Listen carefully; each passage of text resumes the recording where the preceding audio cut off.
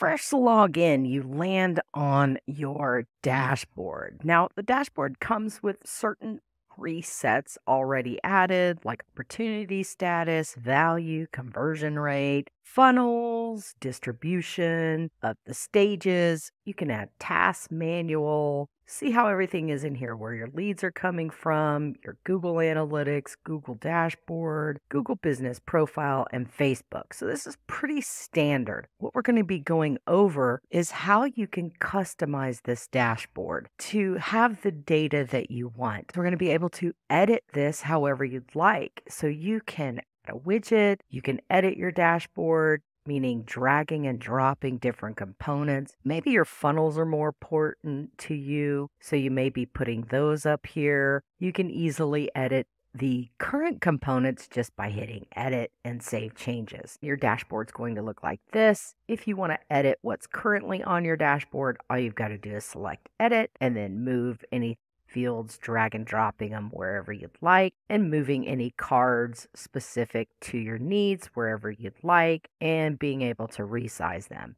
Then you'll save your changes. And then if you want to add a widget, this is what we're going to be going over is how to customize your dashboard to give it your look and feel with your specific data. What we want to go over is all the details of the specifics inside of the widget. So that way we can talk about setting up your dashboard the way you want to see the data based on what's going on with your software. So let's get started. When you first log in and you see your dashboard, you'll see that you've got these dates right here. So you can customize how you want to view the data on your dashboard by setting maybe this week, last week, the last seven days, this month or the whole entire year. So basically, when the data is inside a card, if you select it based on the current calendar, that's how the data is going to show unless you tell it otherwise. The first thing I want to point out is the fact that you can edit your dashboard. If you already like the cards that are displaying on your dashboard and you just want to rearrange them or move them in an order, that's where the edit button comes in. So what we're going to do is we're just going to select edit and once you have the edit button turned on, if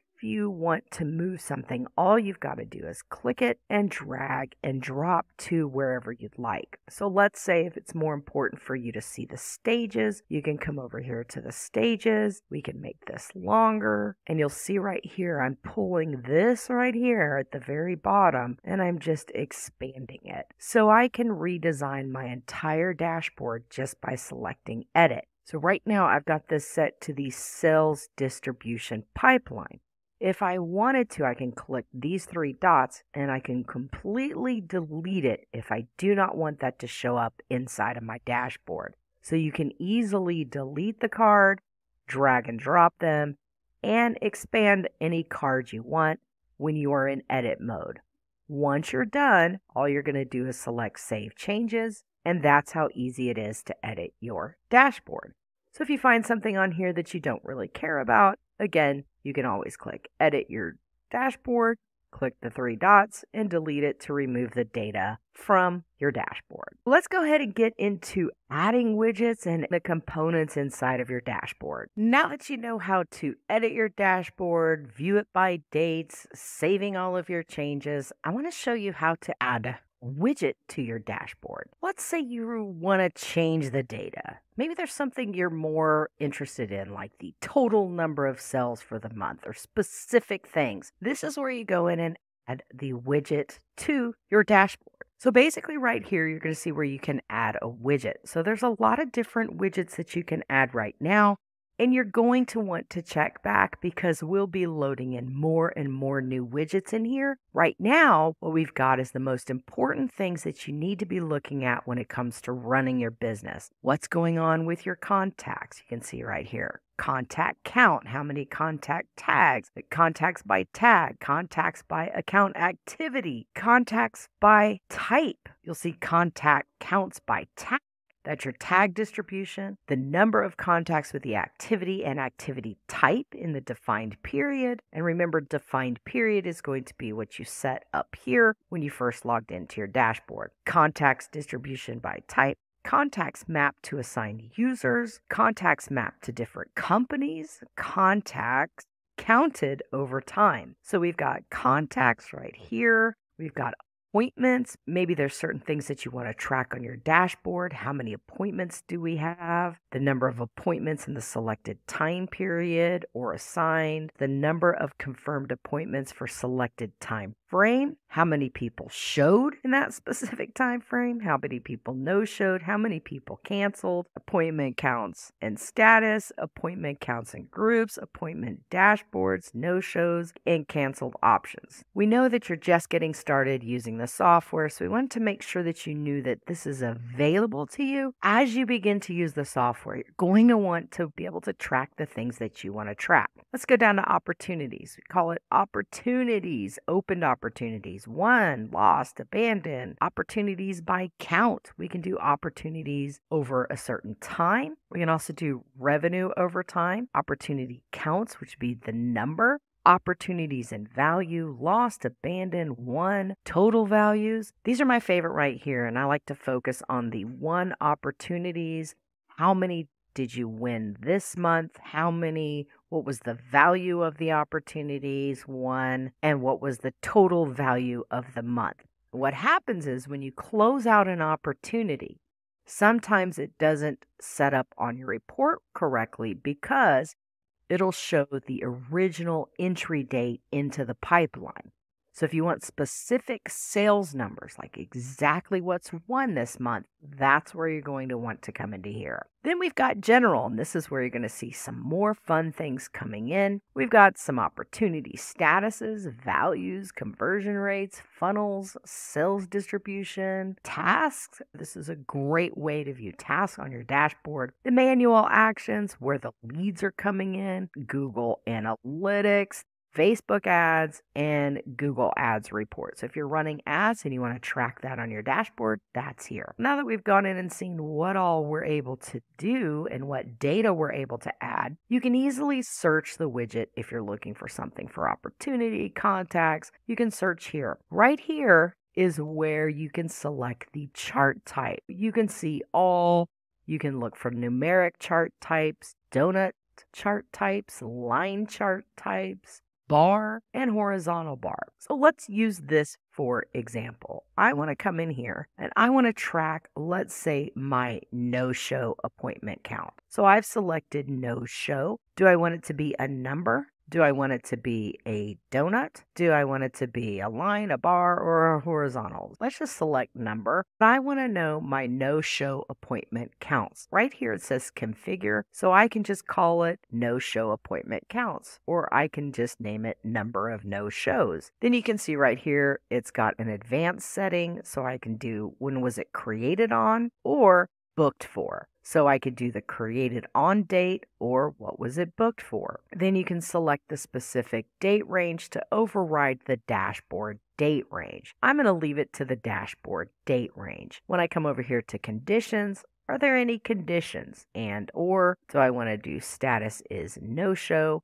Do I want to add another condition? I can add another condition, user, calendar, group. So we could do calendar, we could select a certain calendar that we want to do, and then we can hit save. What happens is it brings it down to the very, very bottom, and now I'm back to my editing. But this is a number I want to see up top, so I'm going to just drag this back all the way to the top. So once you create your card, you can easily come in and add it right here. You can also drag and drop so you can see your no show count. Let's just save it right here. And then if I did my date range from, let's say, the 1st of October, just this month, it would show that I have one no show appointment. We can come in and we can add another one. Let's say we want to do showed appointments count. We can do the same thing. Showed appointments count. Condition would be showed, which calendar it's in. Remember, we're tracking our calendar here. Save. And now I've got a showed count. So we've got a no show, a showed, and let's go ahead and add one more appointment for, let's say, canceled appointment count. Again, I can select my advanced settings, but I'm keeping these the same. And I'm going to add my condition is the calendar, and the specific calendar is going to be a demo calendar. And now you can see I've got my no show appointment count, my showed, and my canceled appointments. Now it doesn't really look flowing. So again, I can grab this little piece, drag it down, and all of a sudden it looks wonderful. Let's say I want to add another widget. Let's go into our opportunities and I want to add the won opportunities, not the total one. I want to get the total of the won opportunities for this month. I want to see a total value, the number of won opportunities in the current month. So this would be a number and this would be the total value, meaning the dollar amount the total value monetary of won. I'm going to select this. And then what I'm going to do is won opportunities this month. It says for you, that would be you. Again, you can change the date range, but let's come over here and do the conditions. We want to know it's won and we want to know the pipeline is, which pipeline is sales. So I just changed the condition to show the status is won and the pipeline is sales. Now I can do a number or I can do a donut, but let's for fun, let's do one of these bar charts. I'm going to hit save. It's going to save it all the way to the bottom. I'll bring this back over here. All right. So again, this doesn't look exactly the way I want. So I can either come over here and edit and I can say no show, save. I'm going to bring this a little bit further. I'm going to rename this. We don't need to put account. We can say showed appointments. I'm just going to drag and drop this over here. And then we'll go ahead and canceled appointments. It's pretty obvious it's account. I'm going to know what this is because it's going to be my dashboard. And then we can leave the won opportunities here.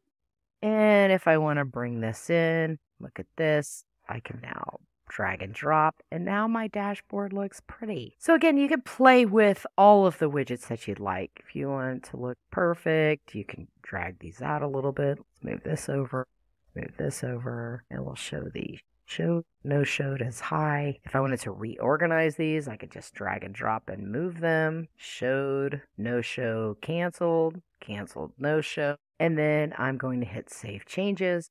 And then you can see right here, if I wanted to change the date, I could do this week, change my dates. And that's how you add a widget to your dashboard and organize your dashboard the way you would like to see it. Pretty neat stuff, I would have to say. So again, you could just say this month and save it to view what's going on in your world this month. And again, don't forget you can easily come in here and if you see that you can't click on this, all you got to do is hit edit and when you hit edit, just drag these over and you can make it look very pretty the way you'd like it to be. And let's say I want to move my funnel all the way to the top. I'm going to bring this all the way closer to the top. There we go. And my dashboard looks good and ready to go. So I'm going to save it. And that's how easy it is to add a widget and then adjust your dashboard, going back into editing and making it provide you with the exact information that you want. So now it's time for you to go in and make your dashboard your own. Oh,